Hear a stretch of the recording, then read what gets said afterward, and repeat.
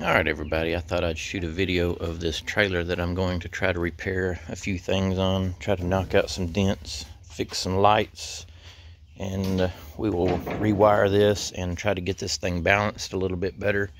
This is a tilt trailer. So you pull the pin and then the trailer will tilt. But it is off balance, it doesn't stay tilted and I'm going to try to correct that with these boards in the slot back here. It does tilt so it's not really bad off balance just a little bit. And these lights I'll show you this. So these are kind of wore out kind of busted up. I'm gonna pull all of that off and throw that away. And I like this. I'm gonna keep the jack but I have a flat four on this trailer. And this is it that is the wiring that I have on my truck. You can pause that and look at that if you need a diagram or you can look it up online. There are a couple of ways to wire this and I'm not sure something about a RV and a non-RV or something I don't know. But there's the lights that I have on hand. This is just what I had on my shelf. And I don't think there is a diagram on this box. So these lights, wires coming out, I'm just going to have to figure that out. And they were saying that the color codes on these plugs I had all this on the shelf just um, stuff I had on on hand on my shelf. So I'm not really having to buy anything. But they were saying the color codes can be just whatever, random things. So I am going to use a voltmeter and set it to continuity. And I can pin this and figure out exactly which one goes where. I can cut this back, the insulation back, and I can label each one of these wires individually on where they need to be plugged into on the trailer. So I'm going to go through the whole trailer and I'm going to fix all of this stuff. Make these boards where they slide in and out better, I hope. I can get to that. And hopefully, I've got ADHD. Hopefully I don't forget that this needs to be balanced because it is kind of a necessity to balance this. But see this wire right here that goes over here. So when it is tilted, that wire gets pulled very tight. And what I'm going to do is attach it to the frame right back here, way back by the axle. I will put uh, something, a piece of round stock or something right there to run the wire through so it does not dangle down. Alright, I'm going to get started on this probably tomorrow. I just got it in here today. Alright, I'll cut you back on later. Alright, decided I was going to start on this trailer tonight. I'm probably not going to get very far. This morning, I went through my parts and I have located these LED tail lights. And I think I'm going to use those because on these, all these wires coming out of the back, um, the blinker and everything is all wired separately. I don't know why I didn't think of that because it has a yellow lens on top there. So I'm not really going to be able to use that on the trailer due to the wiring of the truck coming back. And this was kind of expensive. I think I'm going to throw that back on the shelf. I'm going to throw these back on the shelf I'm going to use the wiring that is on the trailer and I'm just going to put a 7 pin connector on. I was looking at this because I like the hooks instead of this style. I don't like that. It's not user friendly. But there again, I don't really want to put anything super nice on this trailer. Super expensive items I don't want on this trailer. I had these with the chrome rings. This has all been sitting on the shelf, so it'd have to be cleaned up really good. But still, I really don't want to spend the money on... That's already spent, but I would rather kind of hold off and not put that on as well. I will probably just use these to hold the wiring that's already on the trailer up onto the frame and cut off what I don't need off of that harness and put some wire loom over that so the sun doesn't deteriorate the wire and make it super brittle so that I can save the wire because over years that will happen so not sure what I'll get done tonight. Not much because I just worked 12 hours and I'm kind of tired. So, um, I'm going to look at how I'm going to mount these and I'll cut you back on. I made a little bracket out of 2 inch angle and uh, kind of angled that so that it would not be sharp and then I ground my paint off right here. And what I decided to do was hide the tail light right behind this beam here. And I'll just weld it on right there. And we will call that good. That is not going to be any kind of weight back here. So I will have to add some kind of weight to the very back. And that will make it tilt the spare tire on the front, I could possibly move it to the back right here and that would completely take care of it. But we will cross that bridge when we get to it. I cut the taillights that were mounted right here off. Actually, that one was mounted on this bar right here, and I just angled it down with a plasma cutter. I built these brackets and just welded those on there. That's going to be probably uh, out there in the way and possibly get hit. I will just try to be careful with them, but I wanted them as far back because that's the safest spot so people can see them easier. And what I'm doing now is I am pulling the wires and getting them up here to where I can put that in here and I have disassembled this from its case. And they they have uh, wiring instructions right here. Left tail light right tail light. So I'm going to wire that in. So there's the notch on top. And this is for the screw you have to get a really small flathead screwdriver to pull this out. And then I just put my screwdriver in the end right here and knocked it out right there so that I can put my wires onto that. I'm gonna put a ground and then my light wires. So I'm not gonna need very many of these but I don't have the four-way flat on my Titan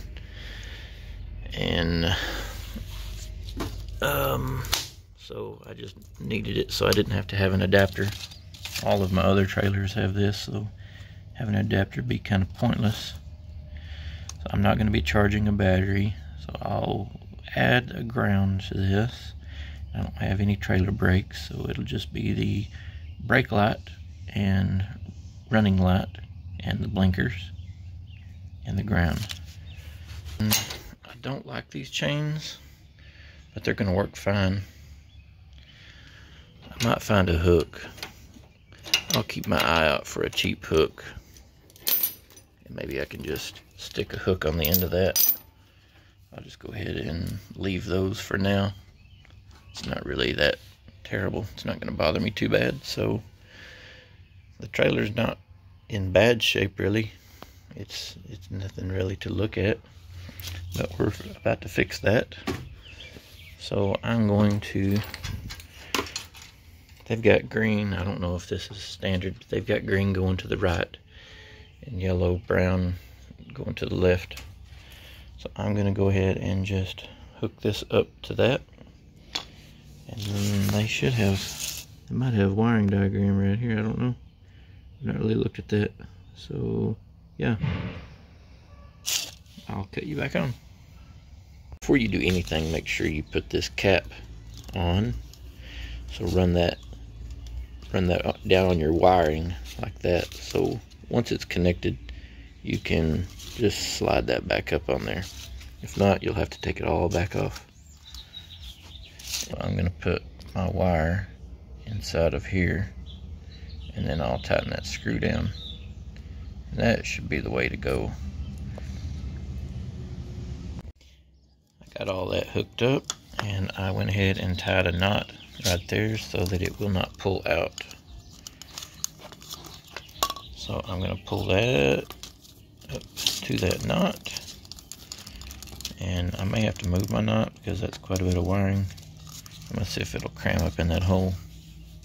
And then I can put my screw in. And then I can plug it up here. And I can pull my slack through and mount my wire solid and check my connection back there and see if it works. I've got the lights working. And they are just temporarily spliced together just to know that they do work. And up here, I used this cloth wire loom. It is a lot better than the other, and that's what I have on hand. So I just used that. I put zip ties on each end. That's my ground. And I pulled some slack out of these. I'm going to work on that some more as I go. What I need to do now is get this to where it tilts correctly. I really don't want to move the spare tire. Kind of want to leave that there just because that's more work. Most likely I think what I'm going to do is make some brackets back here at the back to hold weed eaters and blowers, leaf blowers and things. Um, I could just strap them down, tie them down with rope or, or whatever onto a little hooky thing back here at the back. So I'm going to look at doing that and I need to use a heavy material because this is off balance by probably 20 pounds I'm going to look around in this metal that I've got and I'll come up with something. Alright, so I've got this on hand and it is super thick and super heavy. But I think it'll work great. It kind of caresses back here around the weed eater. If you pull the weed eater off and don't drop that on your foot. Seems to be balanced fairly well I can push down maybe 10 pounds of force and it will stay down but if you pull it at all, it will tilt fairly easy. I'm going to go ahead and weld these to this edge right where I've got them. Super strong, but it'd be perfectly fine. Basically just pieces of scrap that I have laying around. So suits the per suits this purpose perfectly. My tail lights are very close to the ground. I kind of wish that I had maybe mounted those a hair higher.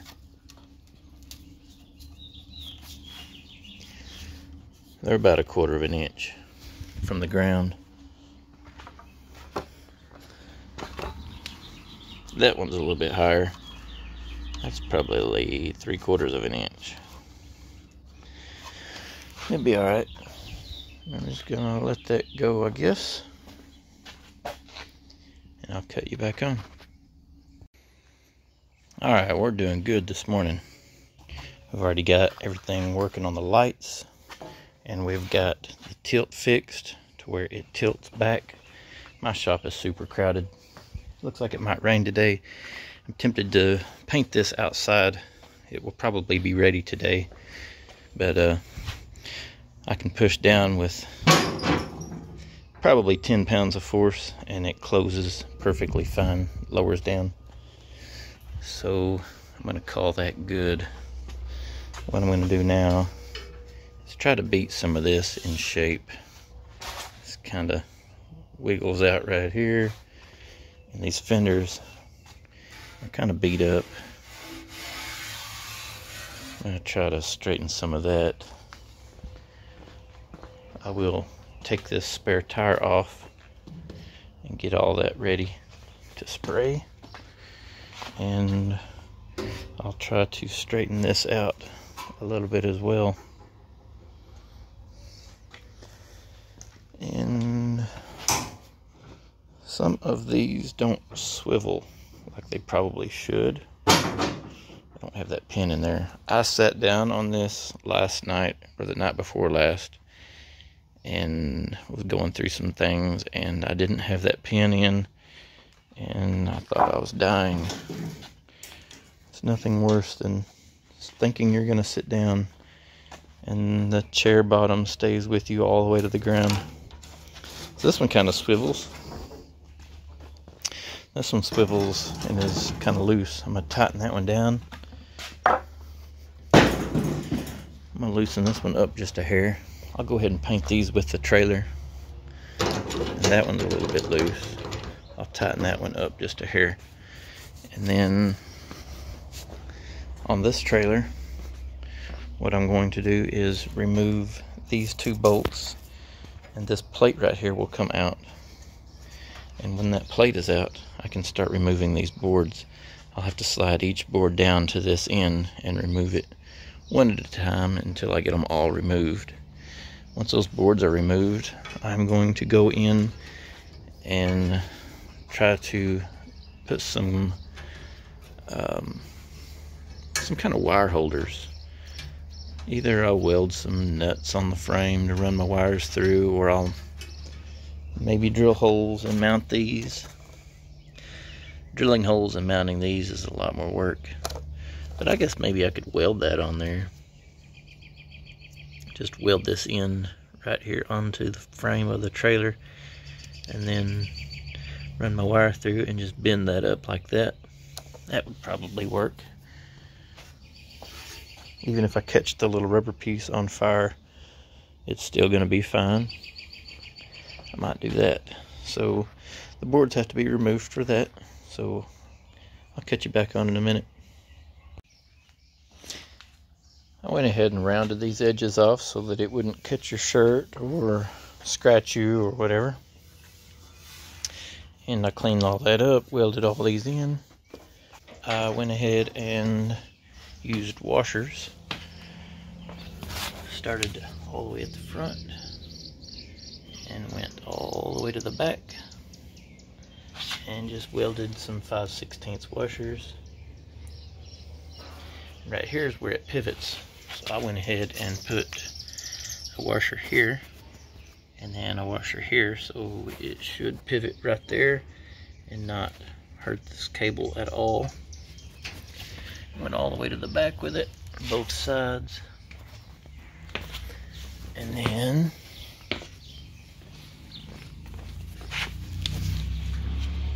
these fit through the washer so I can always disconnect here and pull that through the washer easily. And I put male and female on one side and male and female on the other side so that you cannot get these backwards when you go to hook that back up. The white is my ground So I used a self-tapping screw and a ring connector. That should take care of all of the wiring. And I tighten these down where they swivel, but not super loose. And I pulled all the boards off, of course. I'm making good progress today. I'm going to try to bend some of this stuff back together where it should be. Bend these out a little bit. Straighten some things up. I don't like the look of that at all. But I may just have to let that go.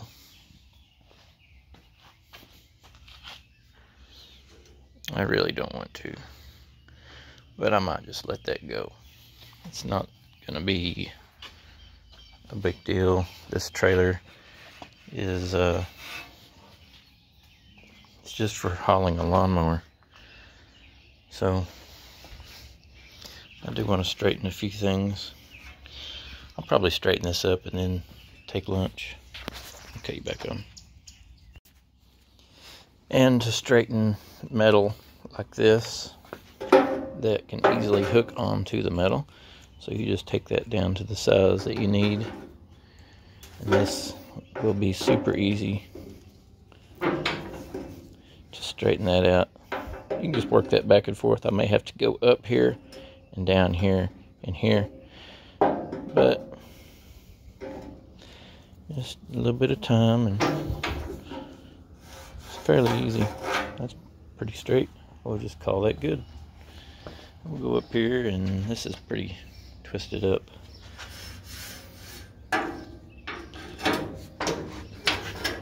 This is gonna be moving. It doesn't have any support right here going down. So it's gonna be trying to twist whenever I try to straighten this. So I may have to use a hammer. I'll probably need two hands for that. I'll set my phone down.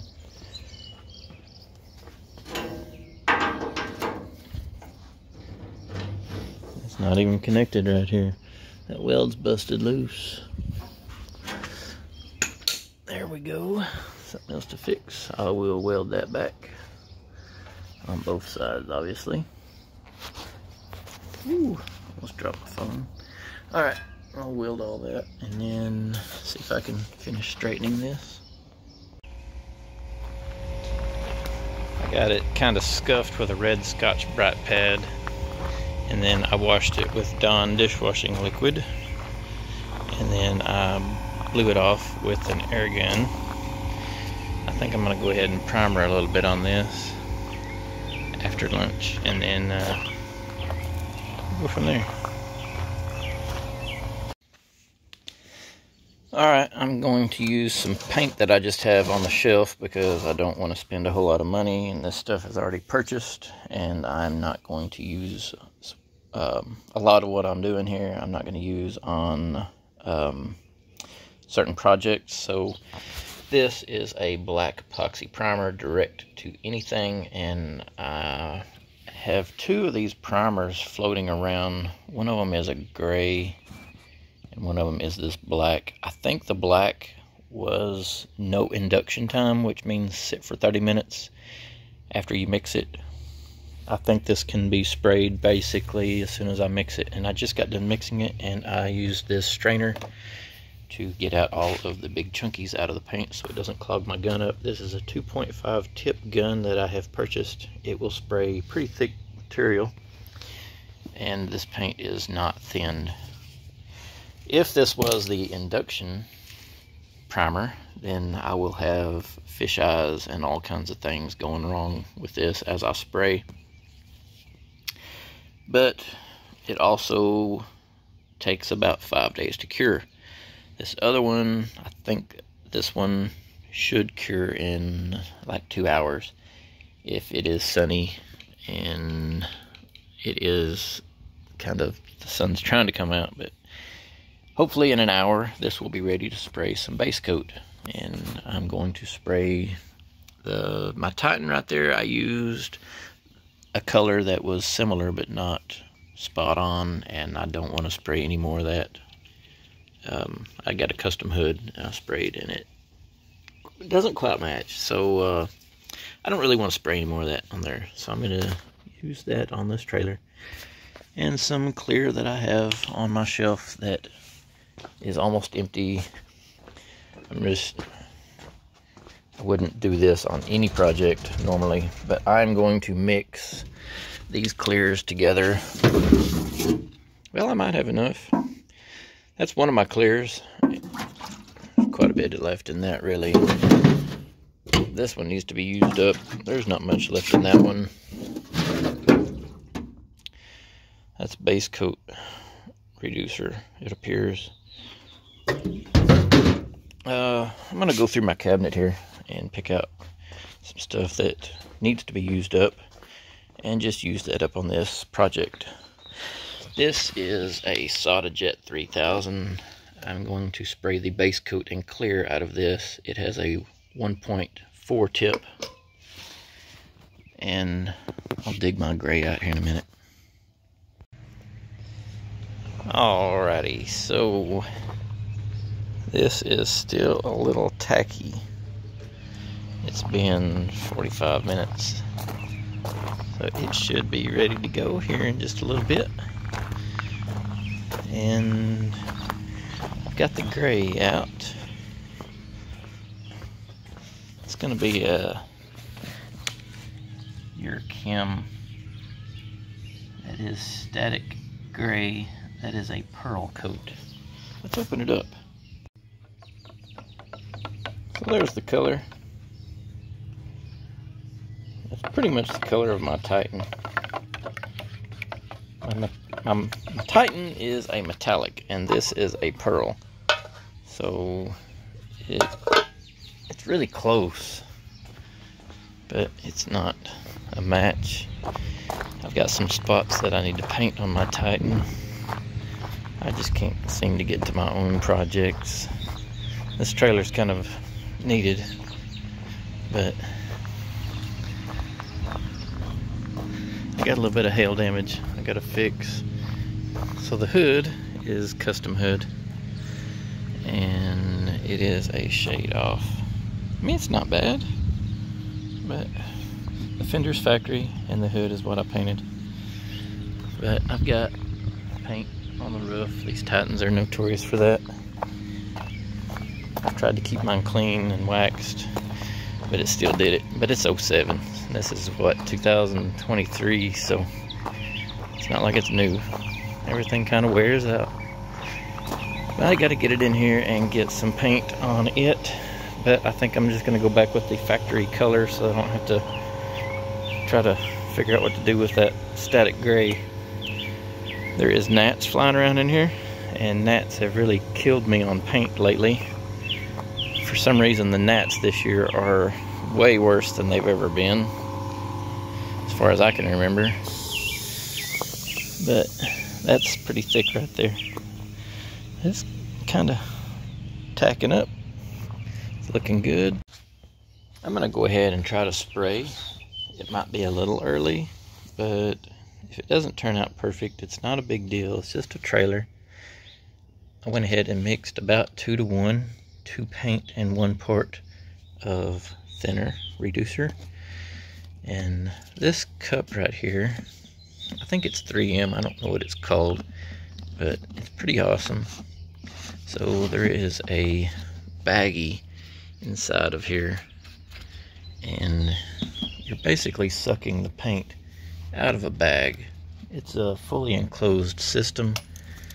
This locks down onto there and you can spray upside down. It'll pull all the air out. Let me screw this down, I'll show you. Alright, I screwed that down tight and I fit my gun to it. It's just a quarter turn and it locks down in place. And then what you can do is with it upside down like this, you can put your air on.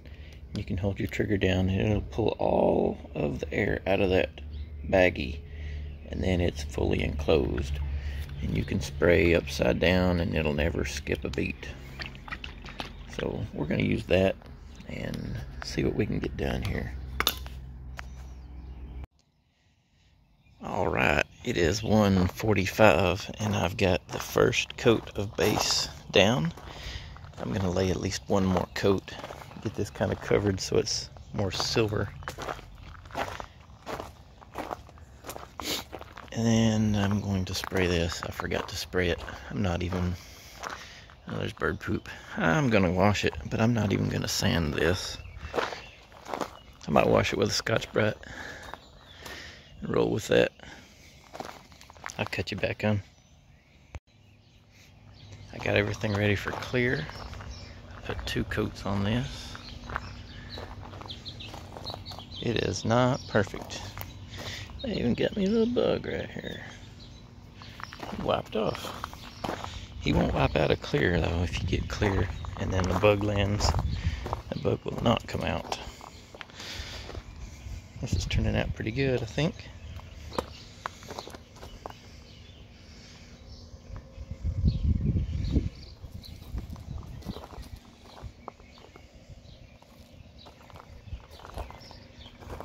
Alright, I'm going to go ahead and spray some clear. So, I've already got it mixed up. And I didn't clean my gun, so it's got a little bit of gray in it. I really don't care a great deal. So the UV protection will just help it basically. And the clear is a little bit harder to scratch than the base coat. Or possibly even a single stage, I'm not sure. But the stuff I had on hand. Not out really gaining money. So I'll get to spraying this clear. I went ahead and sprayed a super light coat and then came right back around and sprayed a gloss coat. I'm going to call that good on the trailer. And I'm going to call that good on the, uh, this is, bench, stand, I don't know. So, yeah. It is what it is. I'm to roll with that And all I got to do now is untape a few things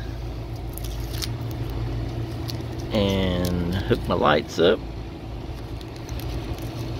I gotta wait a few hours. I'm very impatient. I just got my gun cleaned, so this has been sprayed for like 10 minutes. But we can go, go ahead and unmask a few things here and I will cut you back on in a little bit.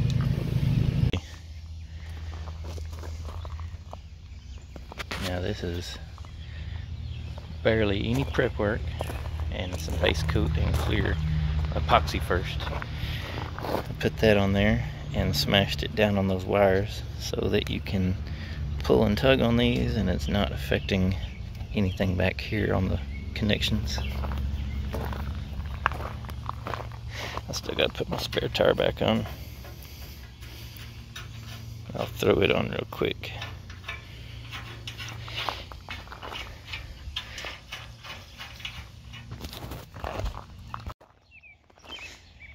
So here were the old boards and they don't look very good. We decided to just go ahead and put new boards on. So we got about half of them done. And we are putting their skyline. We are putting some Thompson's water seal on them. That was some of the rotten board that I had to beat out. So one coat of clear coat dried really, really quick. And I went ahead and bolted the taillights on, got everything wired in, so all I have to do now is put the rest of the boards on and we will be pretty much done. I'm just using one of my old boards to get my length. I'm just having to trim off a little over an inch.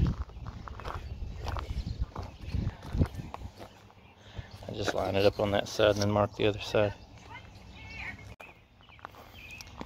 Alright, so this board has a little space in between. It's not quite wide enough. I could probably swap that out to a 2x10. I'll look at doing that. And I'll swap these bolts out. But I don't have the nuts for the bottom side, so that's all I'm lacking. And this project will be done at that point. It looks pretty good. And I did all of this today. All in one day. It's pretty easy. Just kind of push through it. I'm gonna go ahead and stain these boards. Put Thompson's on those and then slide them back down in here. Tailgate. Here's that swing frame. It turned out pretty good. All I gotta do now is get a swing put back on it. That fender's still kind of beat up.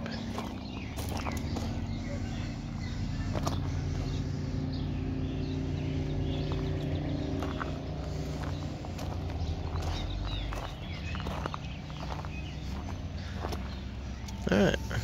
Hope y'all enjoyed the video. I'll talk to y'all next time.